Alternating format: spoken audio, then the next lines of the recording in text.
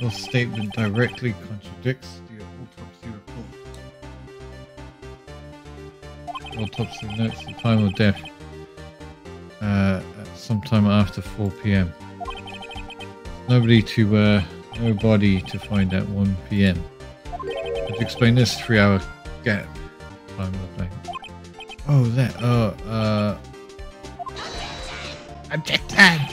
This is a triv trivial. This is true, The witness merely forgot the time. After his testimony, I find that hard to believe.